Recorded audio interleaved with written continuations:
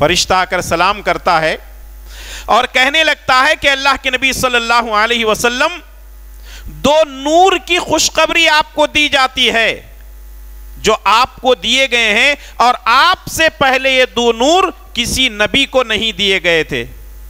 और वो दो नूर क्या हैं? फातिहतुल किताब व खवातीम सूरतिल बकरा। एक है सूरह फातिहा और दूसरा है सुरह सुरह बकरा की आखिरी आयतें।